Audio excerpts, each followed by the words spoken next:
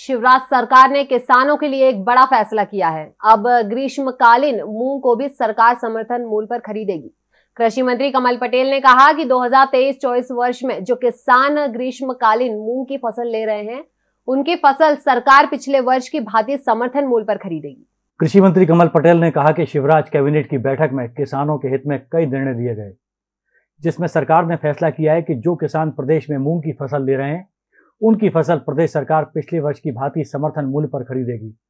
कृषि मंत्री पटेल ने कहा, प्रधानमंत्री मोदी का किसानों की आय दुगना करने का जो सपना है, वो सपना शिवराज सरकार के अथक प्रयास से पूरा होगा।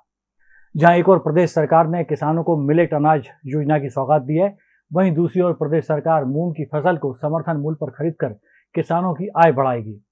किसान बाज़ार में मूंग को चार हज़ार रुपये प्रति क्विंटल की दर से बेचता है, लेकिन सरकार मूंग को सात हज़ार दो सौ पचहत्तर रुपये प्रति क्विंटल की दर से किसान से खरीदेगी।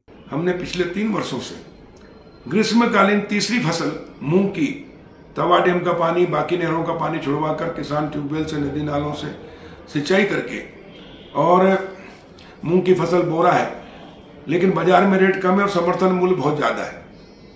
और इसलिए समर्थन मूल्य पे हमने पिछले बार सात हज़ार दो सौ पिचहत्तर में खरीदा, जबकि बाज़ार में चार हज़ार से पाँच हज़ार बिक रहा था। तो प्रति किसान दो हज़ार से लेकर तीन हज़ार रुपये क्विंटल किसान को ज़्यादा रेट दिलाने में हम समर्थन मूल्य पे खरीदी करके सफल हुए।